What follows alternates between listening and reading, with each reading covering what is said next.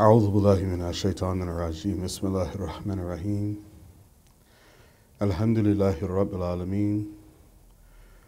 والصلاة والسلام على سيدنا ولديمنا وحبيب قلوبنا وشافي نفوسنا أبي القاسم محمد.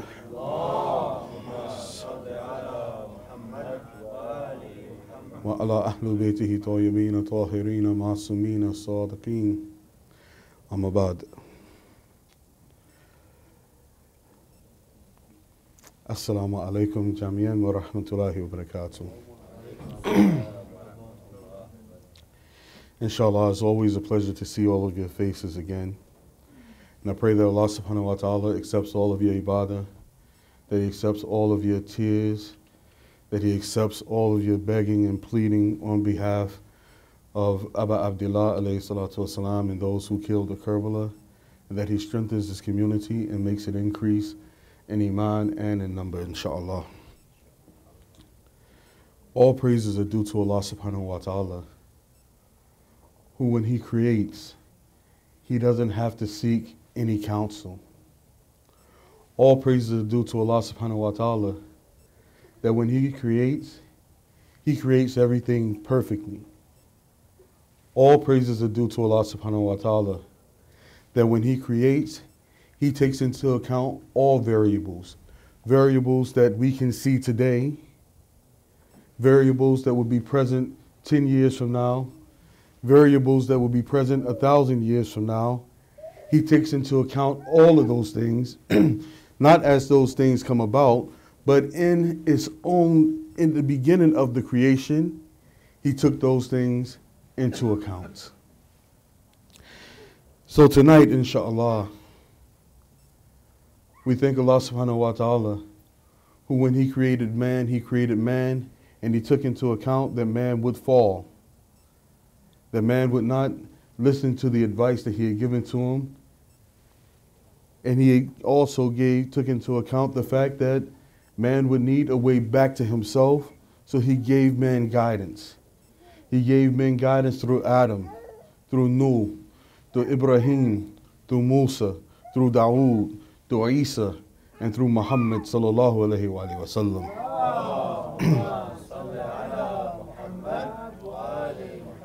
he continued the guidance with Ali ibn Abi Talib alayhi salatu wasalam.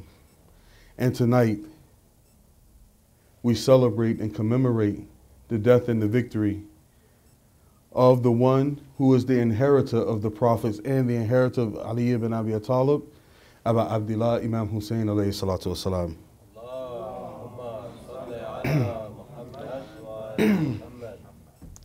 Allah subhanahu wa ta'ala, how merciful is He?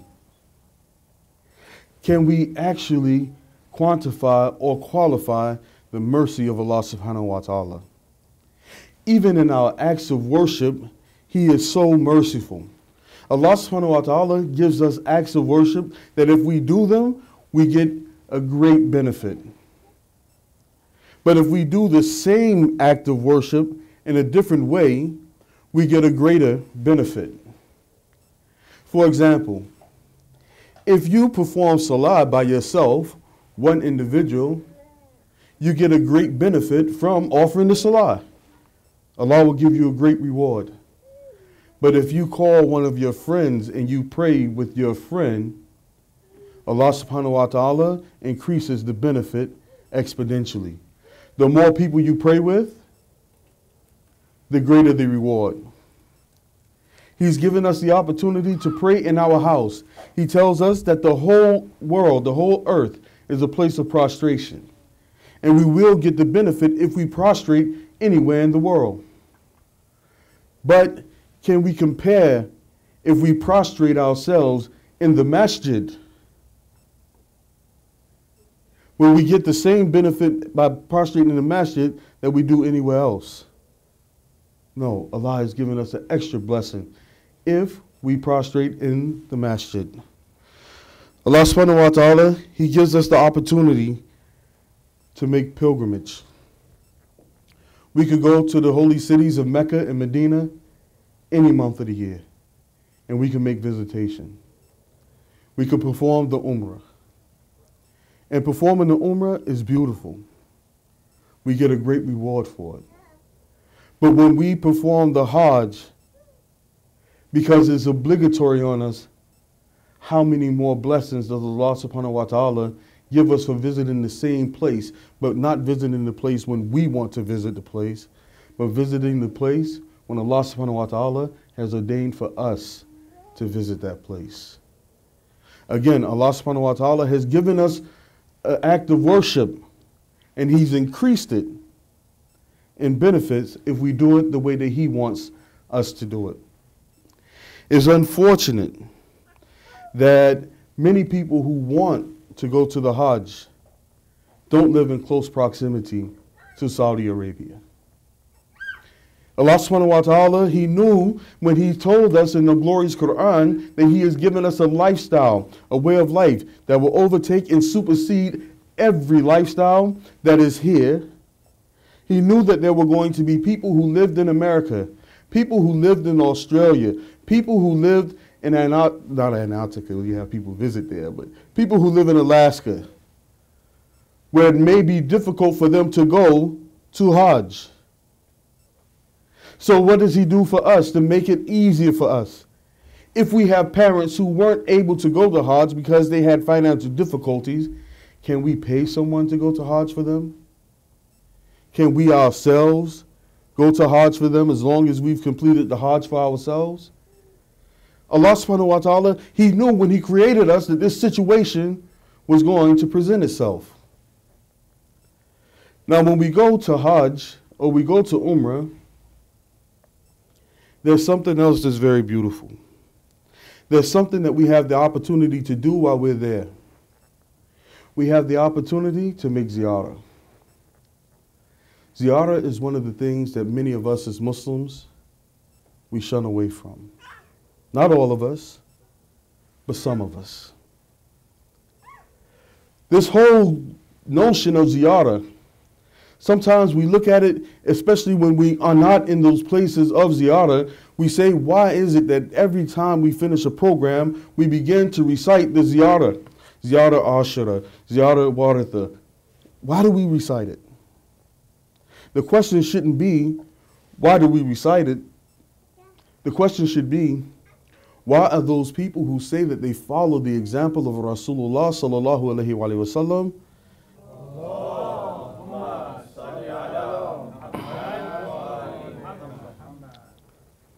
try to destroy the places of ziyarah.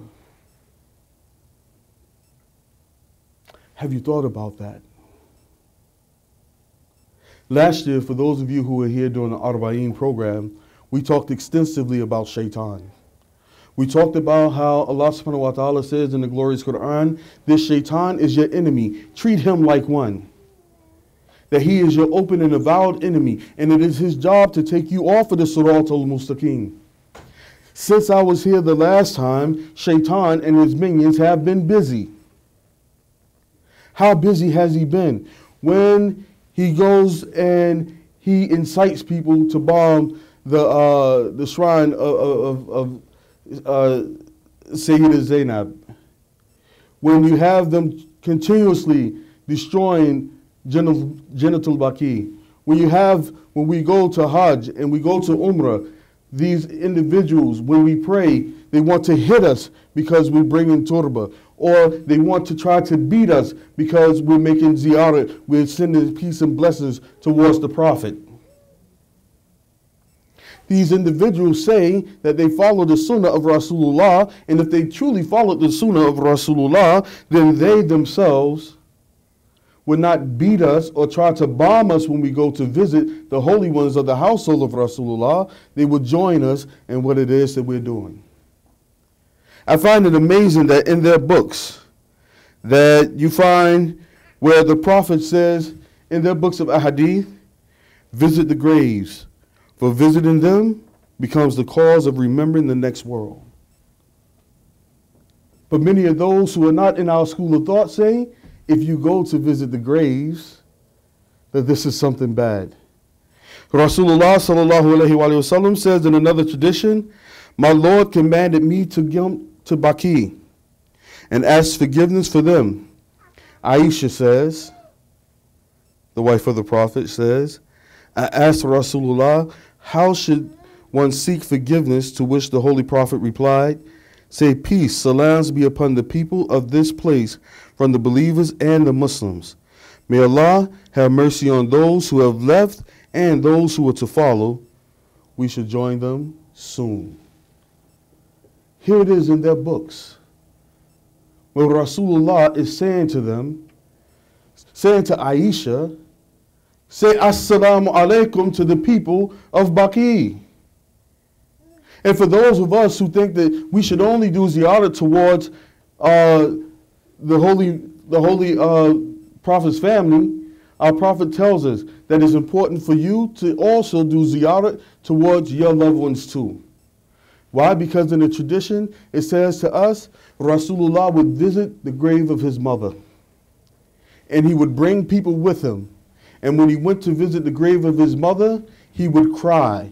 And he would cause those others around him to cry. And he said, Allah subhanahu wa ta'ala has given us permission to visit the graves of those who we love. How many of us are actually doing that? When it comes to graveyards, many of us, or many people, especially here in the West, the graveyard is not a good place. There are urban legends about the graveyard. If you go into the graveyard, something bad is going to happen to you. This is the place where bad people live. This is the place where evil lives. This is the place where shaitan dwells. But in the school of Ahlul Bayt, the graveyard is far from that. The graveyard is a classroom. The graveyard is a place of reflection. The graveyard is a reminder to us that all of us will taste death, and all of us will have to stand up and be held accountable for everything we did towards Allah subhanahu wa ta'ala. Not only that, but the graveyard has been places of inspiration. When a country is going through a bad time, if they're in war, if they're under attack, they go to their graveyards and they begin to tell stories about their heroes and the people that are there. They hear those stories. Ordinary people who are not courageous in those graveyards, they look around and they see the people who have become heroes who are ordinary people just like them. They become courageous. They want to stand up. They want to make a stand. For those of us who make the visitation towards Ahlul Bayt, we're not doing it because of the pride of a country. We're not doing it for self glorification. But what we're doing it for, when we visit those of the holy, uh, the, of the prophet's family, we do it because we want to learn from them. We want to take from their example. We want to emulate them. Because if we have the same type of resolve that they had, then perchance maybe Allah subhanahu wa ta'ala will give us the victory in this life and in the hereafter, like He had given to those who went before us of the Holy Prophet's household. Salawat.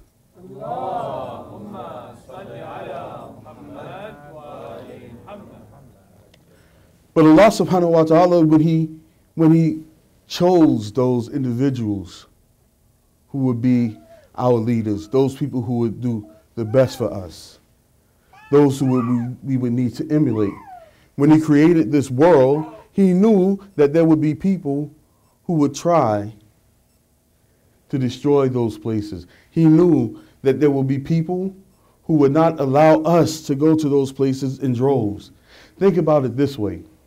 If you wanted to make the Hajj, how many people can go to Hajj every year? Less than 4 million.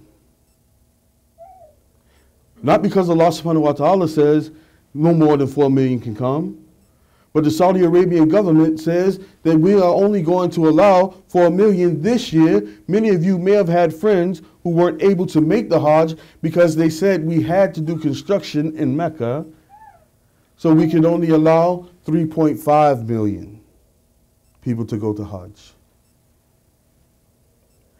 Was this ordained by Allah? Or was the shaitan being busy? Allah subhanahu wa ta'ala knew that this was going to happen. When the people decided that they were going to tear down the house of Bibi Khadija, and they were going to put restrooms there, Allah subhanahu wa ta'ala already knew that. When they were going to raise or tear down Jinnatul Baqi, Allah subhanahu wa ta'ala knew that they were going to do that. But why are they trying to destroy these places where we do ziyarah? Because hopefully, if they can destroy the physical place, they can take out the remembrance of those holy people out of our minds. And take us away from the remembrance of our Lord by doing this. But Allah subhanahu wa ta'ala has given us as Muslims something very special. Earlier, I talked about the prayer. How if you pray by yourself, you get a benefit, but you pray with others, it's more of a benefit.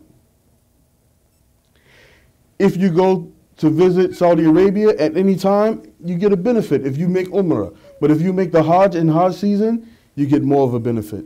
The same goes for Ziyarah. Allah subhanahu wa ta'ala, if you make the physical ziyarah, for those of you who've gone on the physical ziyarah, you know that it's a hardship, but there's something beautiful about it.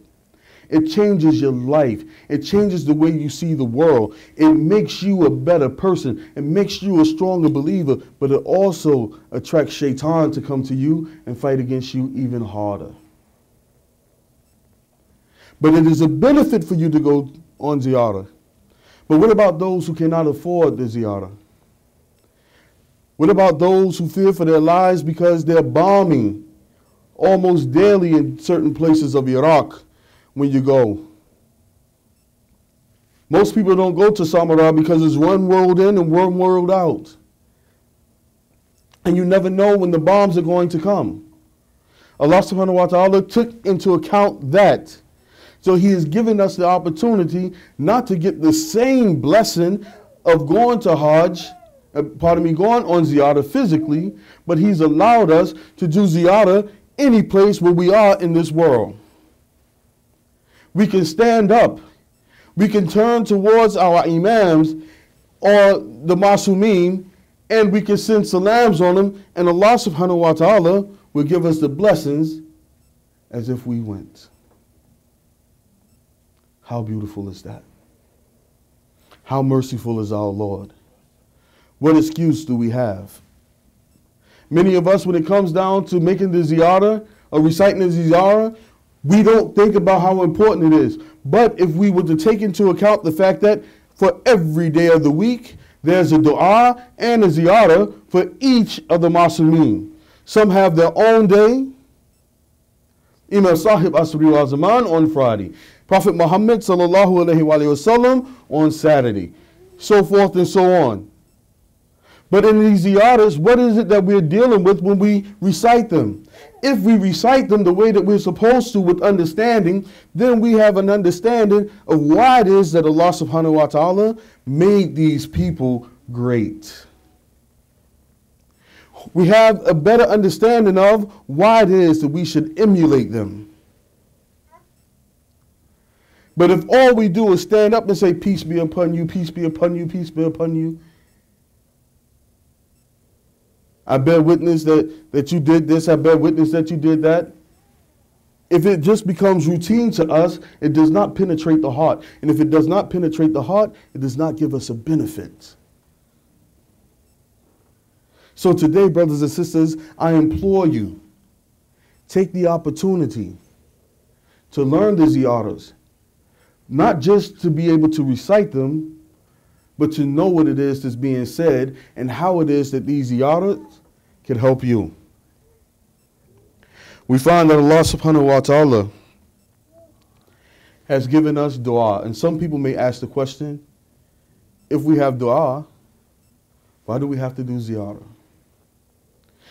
Dua is the conversation that we have between ourselves and Allah subhanahu wa ta'ala. It's direct communication. There's nothing better than that. You don't have to get in ranks to do dua. You open up your heart. You cry. You tell Allah subhanahu wa ta'ala what you're going through. And Allah subhanahu wa ta'ala, He answers your prayer. The difference between the dua and the ziyarah is, is that in the ziyarah you are talking to Allah subhanahu wa ta'ala, but you are imploring someone else to talk to Allah subhanahu wa ta'ala on your behalf. For those of you who have children, if they have cousins who are close to them or good friends, if they want their friends to come over to the house, they say, Look, my mother really likes you. If you asked my mother if I could come to your house, my mother would allow me to go to your house. Why? Because this person has a certain type of intercession with your mother to where you can get what it is that you want. If Allah subhanahu wa ta'ala used men, human beings, perfect individuals to get his message from himself to us, then the question becomes can't we also use that same vehicle to take the message from ourselves back towards Allah subhanahu wa ta'ala? Should that not be the way that we do it? The ziyarat during this time of the year, during the nights of Ashura, during the nights of Arba'in, we recite ziyarat Ashura every night. Alhamdulillah. Beautiful. But if you're only reciting this dua during this time of the year, you're doing yourself a great disservice. If this is the only time that you recite the ziyarat period, then you're doing yourself a great disservice. Because this ziyarah, it gives us strength. It inspires us. It makes us not fall into despair. It keeps us from falling into despondence. We get strong because we see what happened with these individuals. So ziyarah itself is a way of communicating with Allah subhanahu wa ta'ala. We find that the dua that's taught by the Ahlul Bayt, that we're told that there are certain key points that we must have when we do the dua. That is, that our dua must be heartfelt. We must cry. We must remember others. And we must resolve to do better. The same principles that were put in the dua are also put into the ziyarah. So, for those who drop tears when they pray, Allah subhanahu wa ta'ala sees those tears and he answers prayers because of them. We find that the ziyaras are a, a, a good way of us becoming personally involved with our imams. If you don't know the hardship of the imam, then you may be going through something in your lifetime that you can be helped out with if you knew what the condition of your imam was. Some of you feel like you've been trapped, like you're in a prison, that you're imprisoned in your own self. Where we have imams that were put in prison for the majority of their lives. Some of us feel like we've been persecuted. We've had imams that have been persecuted. Some of us feel like uh, we're, we're, we're looked at as the worst of society. Our imams went through that too. How did they make it through? What was it that gave them the strength? Do we have what they have? Of course we do. We have the Quran. We have the life of the Prophet. But better than that by itself is the fact that Allah subhanahu wa ta'ala completed it by allowing us to have more guides our Prophet said, The first of us is Muhammad, the middle of us is Muhammad, and the last of us is Muhammad.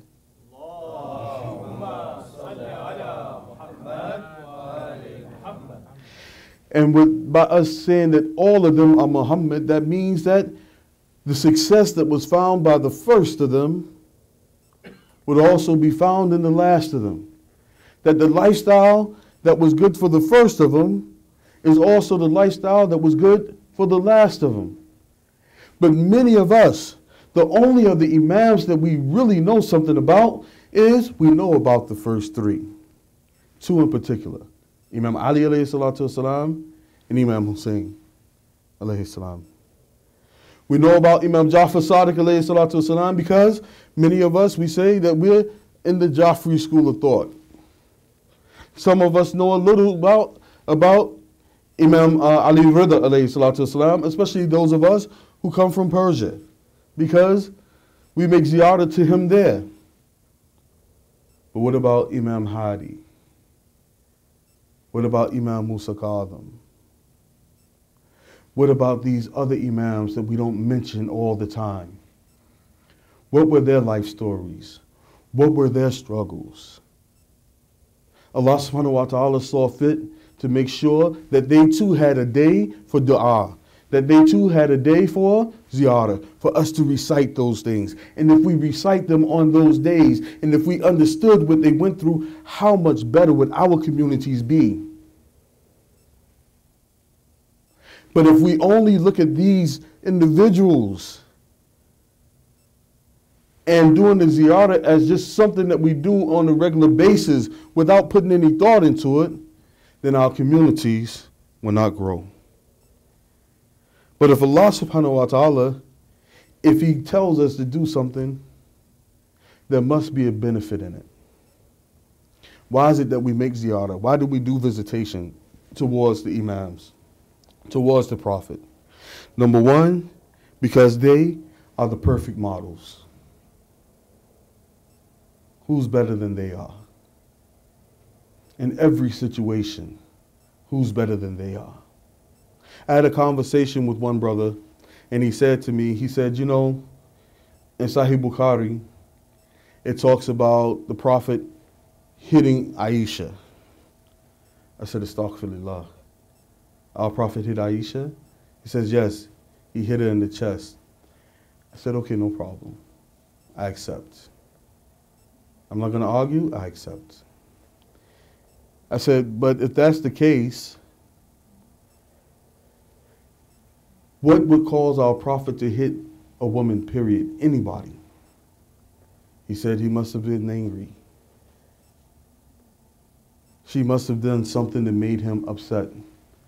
I said, you know, there's a story in the Quran where Allah subhanahu wa ta'ala tells the Prophet, do not make those things that are halal for you haram, and do not make those things that are haram for you halal. Do you know the story behind it? The brother said, no, I don't know the story behind it. I said, Well, let me give you the story. Two of the wives of the prophet, I won't call any names, they decided that, you know what, the prophet goes to see one of his other wives and she gives him a honey drink. And when he gets that honey drink, he's very happy. So the wives conspired and they said, when the prophet comes home from that wife, we're going to tell the prophet that his breath does not smell good and we're going to get the prophet to stop drinking the honey drink. So I said, Brother, do you know what happened? He said, No. I said, When the prophet came home from his wife's house, the two wives said, We don't like you drinking that honey drink because when you speak to us, it does not smell good. Our prophet if he was going to be upset about anything, how many of us, if our wives said we, that they want us to stop doing something, we're going to say, okay, I'm going to stop? Really? We don't do that. Even if we know that we need to stop, there's going to be an argument. You can't tell me what to do. I'm the man here. Did our prophet do that? No, our prophet said, if this thing bothers you so much, I'll stop. I said, if our prophet would do that for his wives, what makes you think that he would hit one of his wives? It doesn't compute. It doesn't balance out. Because our prophet, he always had the best he said, I've come to perfect your moral character.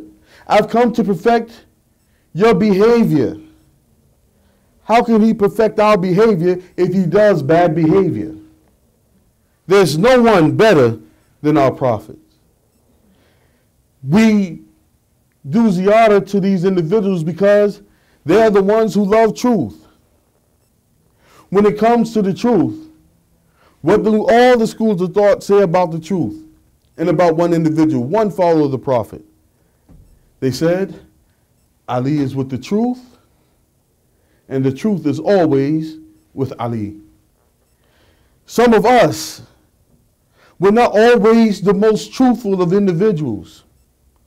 If we're having a problem with telling the truth, then we should make the ziyarah of Imam Ali alayhi salatu and ask Allah subhanahu wa ta'ala to make us truthful like Ali.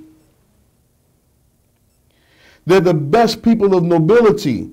They're the best people of justice. They're the best people of character. They're the best characters of mind. They're the best character of pure thoughts. They're the best characters of cooperation. They're the best individuals for the love of humanity. And they're the best of individuals with perfect virtues. Who was more charitable than Ahlul Bayt? No one. Many of us, if we're asked to give something to a charitable uh, center or organization, we want everyone to know, yeah, I gave this $500 donation. If it's $1,000 or more, we want some type of placard saying, this is what I gave.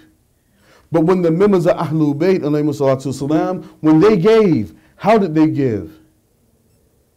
They gave in the middle of the night. They gave under a cloak. They didn't want anyone else to know that this is what I'm doing for humanity. They didn't want anybody to come and pat them on their backs. They weren't looking for the glory of individuals. So if we want to become those people that will give in charity like they did. We make ziyarah towards them and ask Allah subhanahu wa ta'ala to make us more like them. So that we can be also become the best of individuals. When we do ziyarat, Allah subhanahu wa ta'ala gives us many blessings. Among those blessings, our Aima alayhi salatu tells us that if we make ziyarah towards the imams and the, and the masumim of Ahlul Bayt, that the person who does the ziyarah, his du'as will be answered. At the end of your prayer, when you finish with the tasbih, with the dhikr, after you make dua, you want that dua to be answered? Do ziyarah. It will be answered. Not only that, make the ziyarah Allah subhanahu wa ta'ala will forgive your sins. Make the ziyarah. And it said that it's like the Holy Prophet himself, والسلام, if you make visitation towards them in hereafter, Rasulullah will make visitations towards you. Subhanallah. What's better than that? To have Rasulullah come to visit us because we went to visit him and those who he who, who he informed us that Allah subhanahu wa ta'ala has chosen us to follow? What's better than that? Our Imam said that when we make ziyarah towards them, it's the equivalent of making a thousand mustahab hajj. When we make ziyarah towards them, it's like making a thousand mustahab umrah. Some people say, well, how's that possible? We have to ask ourselves the question Did Allah subhanahu wa ta'ala just make us 100% flesh and blood? We're 100% what? Human beings. And the human being is made up of spirit, the ruh, and the flesh. So if Allah subhanahu wa ta'ala has given us a physical qibla, which is the Kaaba, then what is our spiritual Qibla? Our spiritual Qibla is Muhammad, Fatima, Ali, Hassan, Hussein, Ali, all the way down to Imam Sahib Asri wa Zaman, Ajalallahu Ta'ala Faraj Sharif.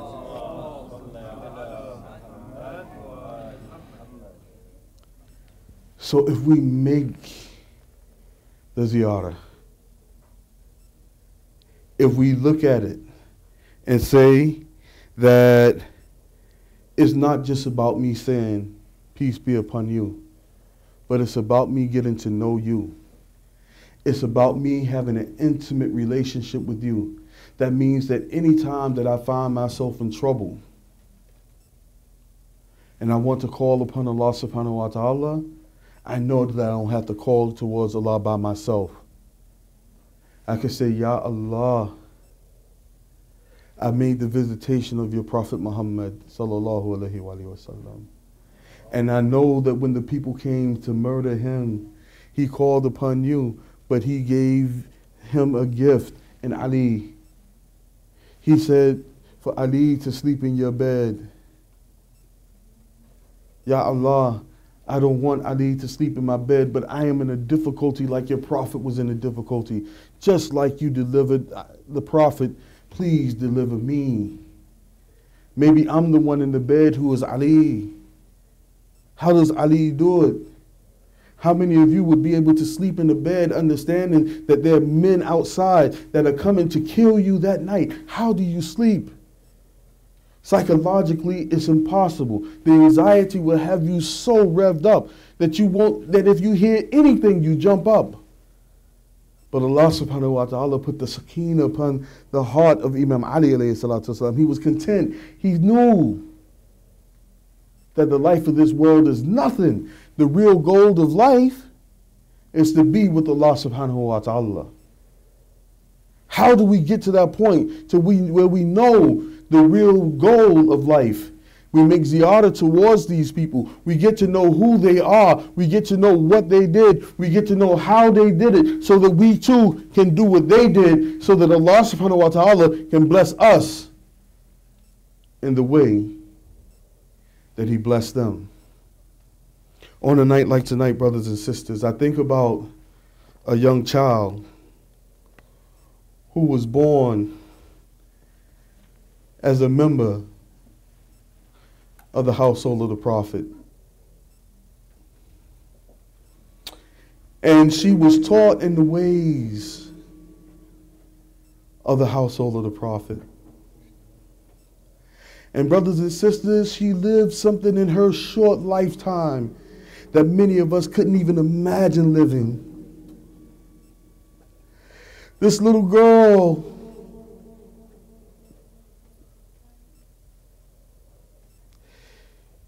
She was the best of the children.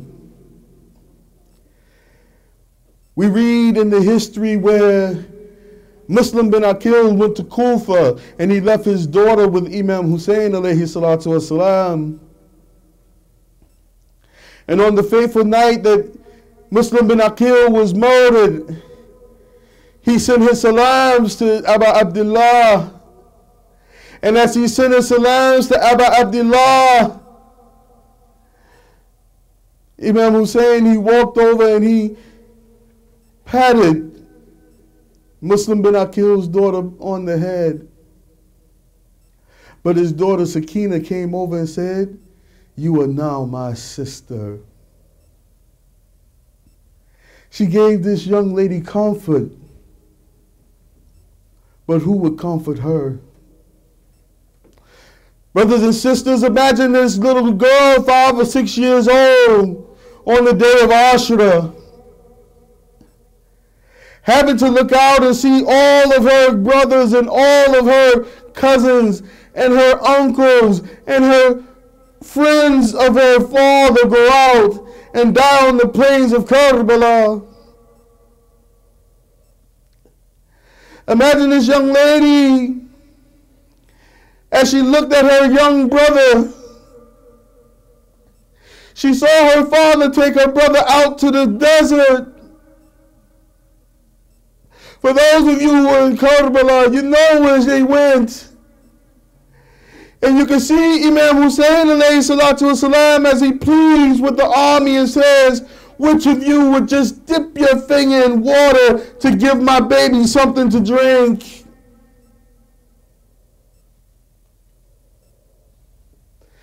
when they wouldn't give the baby anything to drink and Imam Hussein was retrieving his baby. They shot the baby through the neck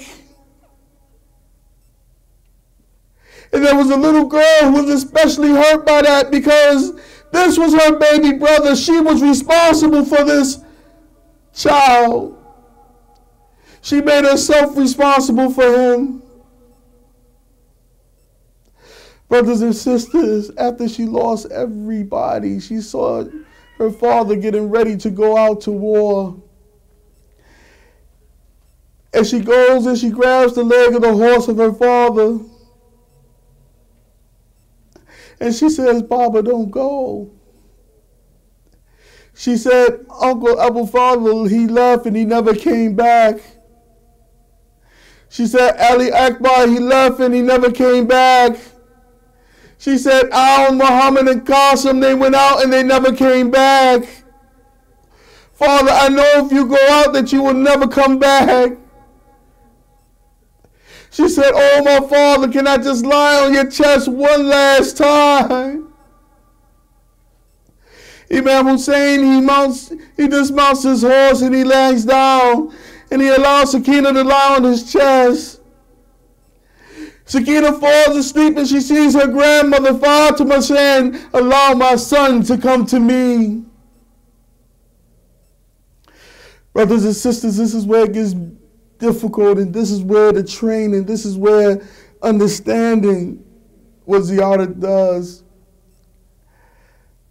After the day of Ashura, during the night, you find these evil men, they come and they set fire to the tents. And as they've set fire to the tents, this little girl found herself alone, and a man came towards her and he said, I like those earrings that you have in your ears. They will look good in my daughter's ears. This man coolly he snatches the earrings out of Sakina's ears. Sakina, she begins, she begins to become upset, and she says to someone she passes, she says, Can you turn me towards Najaf? And the person said, Why do you want to turn towards Najaf? Najaf is too far away for you to walk to. She said, I don't want to go towards Najaf to walk there. I want to complain to my grandfather so he could complain to Allah subhanahu wa ta'ala about what's happened to my father and his family. Sakina on that night, she made the ziyarah towards Imam Ali alayhi salatu wasalam. And Allah subhanahu wa ta'ala gave her victory in a small, cold, damp cell. Well, she cried out out of grief. But because she knew that death was not the end of everything, but it was the beginning of life for the Allah subhanahu wa ta'ala in bliss. Before she died, she said, Assalamu alaikum ya Aba Abdullah. Assalamu alaikum ya Ibn Rasulullah. Inna lillahi wa inna ilayhi rajiun. Ya Allah, we pray that you allow us to be those who make ziyarah towards the Masumim of Ahlul Bayt. That you allow us to make their example our example that you make us of those who have an intimate relationship with them so that when we fall into our hard times that we'll be able to do what they did to become successful. We pray all of this, be Bihaqi Muhammadin alayhi We close out the majlis with a surah al-Fatiha, but before that, the loudest of salawat.